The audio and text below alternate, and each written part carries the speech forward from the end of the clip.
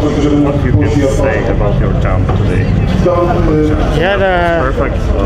no, no, it was not perfect, but this was much better than yesterday, and then it's uh, quite easier to to handle the skis, to to fly, and yeah, then then it was about uh, six and seven meters more than yesterday, and then it's possible to to, to get a position like this. Is it surprise for you?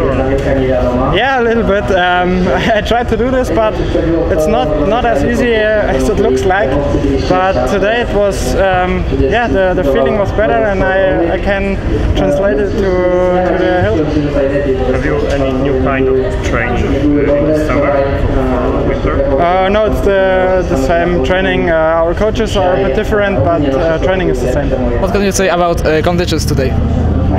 Yeah, I think the, the condition was, was nice The jump. It was uh, a bit of headwind, um, sometimes a bit different, but that's uh, normal in, in our sport. And yeah, um, I think Maciej was the best today. And what do you think about Stefan Fonka? What you can Yes, he's, he's a great coach, and uh, I hope he will bring the, the Poland guys to the top. And we had a good fight. Um, good for Poland, bad for the Germans, but um, everybody wants to do his best, and yeah, let's keep on working. Richard, Richard said that uh, he hoped uh, uh, Stefan come back uh, to Germany too. Uh, yeah, it will be great for us, but I, I don't think so. Um, he is in Poland since three months, and he will have uh, yeah a long way to go. You have a lot of fun here, I see every time. uh, so, so what do you think about this one?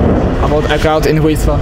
Yeah, it's uh, it's great. Um, the the people are a little bit crazy, but it's nice for us. Um, if you feel it when. Uh, a thousand of fans stay down and uh, push you and uh, yeah um, the the best and the greatest motivation is in Wisła and in Zakopane.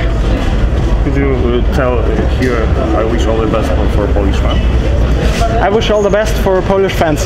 Thank you. Thanks. Good luck. Thank you.